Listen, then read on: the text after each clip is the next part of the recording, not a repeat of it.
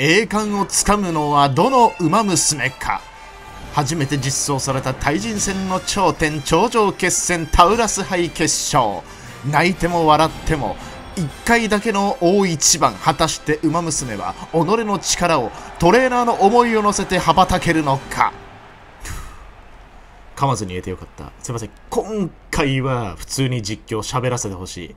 なぜならこの緊張感、愛おしいほどの緊張感を楽しみたいから。なんでこんなゲームで緊張するんだろうな。ほんと娘じゃん。自分の、何大切な娘がさ、大事な大会に出るみたいな。ほんと、娘、馬娘じゃん、本当に。僕の DNA 半分受け継いでるでしょ、この子たち。OK、まずは、出遅れなし。てか、白マックイーンか、珍しいな。この決しいや、早いよ、大臣。その早手一文字は早すぎる。いや、この決勝の舞台で白マックインって相当な猛者ですよ。相当な自信がないとできない。いや、まずは第1コーナーから第2コーナーへ順調にスキルが発動していってるね。OK、まずはプロフェッサーが3人集まって融合と。ていうかこれあれか、ナイスネイチャー、先行か、帝王も先行で、会長も先行か。いや、これきついな、多分、オグリが。先行4人はブロックされてスピード出せないからな。でも逆に、その先行が厚くなる分、後方が薄くなるから、会長と大臣の方がワンチャンありそう。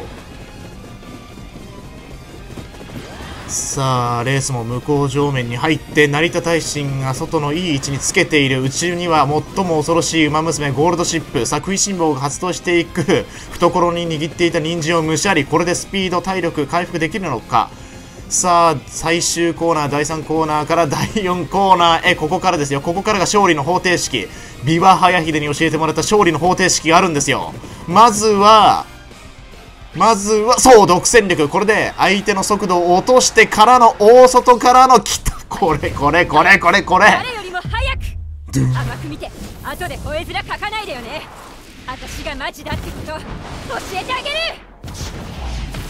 そうこれこれこれよ独占力で落として大外からネメシスとネメシスと本当は早手一文字と迫るかけてごぼう抜きをしていく計算さあ BNW はいませんが B と W の優勝はしっかり継いでいる成田大臣。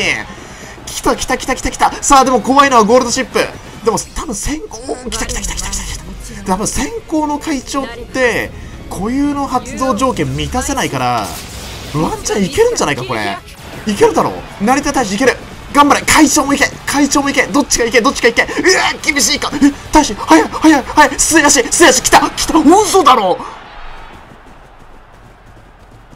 外周一色強すぎるマジ？勝てたわ嘘でしょ？いや、耐震にしてよかった。最後まで迷ったんだよな。ゴールドチップで行くか、成田耐震で行くか。マジで迷って成田耐震にしてよかった。よしよし、ありがとうございます。何この8644分の1ってどういうこと？まあいいや、ちょっと、スクショ撮らせてくれ。やった、マジかよ。勝てたわ。嘘いや、予選、第2戦はさ、僕3勝しかできなくてギリギリだったんだけど、いや、なんだろう、あれだ、マッチング運にも多分恵まれてるんだろうな。いや、でも相手面白かったな。白マックと、で、多分デバフじゃないよな、このナイスネイチャー。もっといけると思ったけどな。オッケー。まこんなもんか。もっと喜べよ大臣。バカみたいじゃん俺がこんなでかバカでかい声で叫んでて。恥ずかしいよ。うますぎる報酬が。よかった絶対勝てないと思ってた。これで煽れるみんなを。どうや。